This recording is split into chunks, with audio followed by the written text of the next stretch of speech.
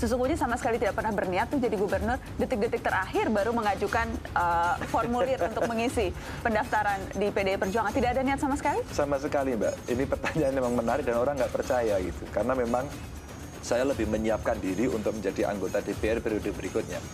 Pak Ganjar, sudah berapa? Empat bulan di eksekutif nih, Adi? Uh, ya, jalan keempat ini. Jalan keempat ya. eksekutif. Sudah mulai frustasi, kapok. Enakan jadi anggota DPR kan nggak kerja apa-apa? Kalau kalau di DPR bisa tidur, terus kemudian banyak orang mencaci kalau di sini baru mau ngulet aja udah dicaci lagi.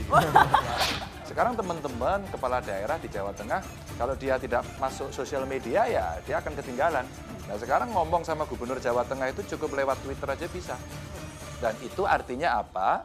Artinya mereka itu berharap. Dimention dulu akun Twitternya. Oh iya dong, Ed Ganjar Pranowo.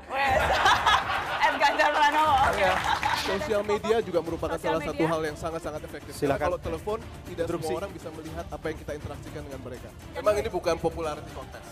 Tetapi saya selalu percaya yang namanya substansi dan tata krama, manner itu juga sangat penting. Karena rakyat nggak suka drama.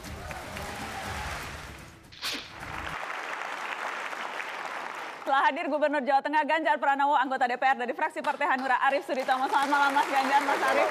Terima kasih sudah hadir di Mata Najwa. Itu cuplikan-cuplikan ketika Anda berdua di Mata Najwa. Saya mau ke Mas Ganjar dulu. Apa kabar Mas? Baik, Alhamdulillah. Yang penting waras tadi itu. yang penting waras. Sama Mas Rizal, waras yang penting. Uh, semakin lama di daerah, semakin kangen uh, nasional dan hiruk pikuknya atau semakin nikmat jadi orang Jawa Tengah? Hampir 10 tahun, dua periode tiap hari berkelahi berdebat kadang-kadang jarang berdebat jadi kangen juga gitu. Ah. Kadang-kadang nggak ada cubitan-cubitan tuh hidupnya nggak asik gitu loh. Nggak banyak yang nyubit tau di Jawa Tengah? Ada, cubitannya kadang-kadang cuma bikin geli aja nggak bikin sakit gitu. Sementara waktu di DPR itu bukan hanya cubitan ya, 10 tahun di DPR oh, itu. sampai tinju. Nah, ditonjok kanan kiri ya? Sampai tinju, paling enggak ya Senturi dulu kan seru gitu kan, meskipun macet-macet juga kayaknya ya. Tapi lumayan lah. Tapi di di daerah memang kadang-kadang saya kaget-kaget karena tiba-tiba kok sepi ya gitu ya. Hmm. Biasanya teman-teman suka apa membawa banyak isu, saya sering kali juga mencoba melempar isu hmm. di daerah. Sehingga kayak kurang kerjaan aja. Kalau di daerah mah protesnya satu aja, Mbak. Hmm Pak Gub, kenapa jalannya rusak? Uh. Ya, soal seperti itu. Meng okay. Siap-siap menghadapi kekeringan, kira-kira apa? Dan itu pasti dibahas. Kasih tepuk iya, tangan iya. dong untuk Mas Ganjar. Saya mau ke Mas Arief.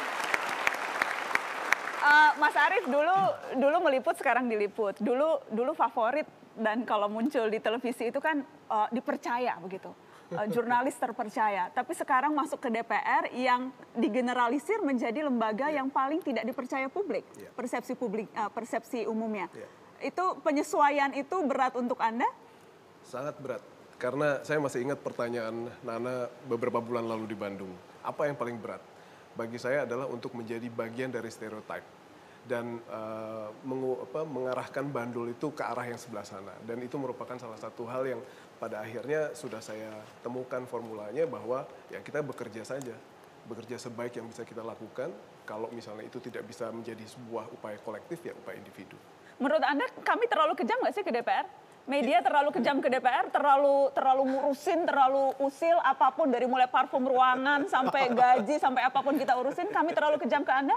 Saya pikir uh, masih pada porsinya ya, bahwa saat ini kredibilitas atau image ya, citra dari DPR itu masih belum menjadi media darling.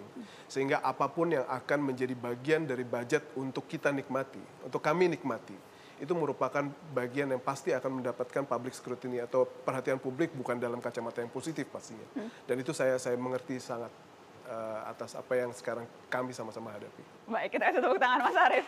Saya mau ke Mas Yunarto Wijaya.